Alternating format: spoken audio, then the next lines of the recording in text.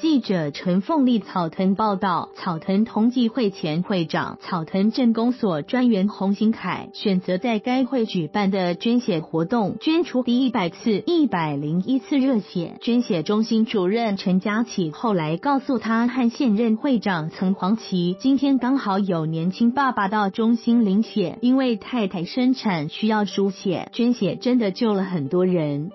洪新凯今天在草屯镇惠德宫广场的捐血车捐了五百 CC 的血，可以计算捐血两次，因此今天他捐了第一百次、一百零一次热血。由于是草屯同济会办的捐血活动，现任会长曾黄旗也陪着他一起挽袖捐血救人。洪金奎表示，从十七年前开始捐血，每次大多捐五百 CC。由于第一百次捐血对自己是一个里程碑，因此选在自己参加的社团所办的捐血活动来参加。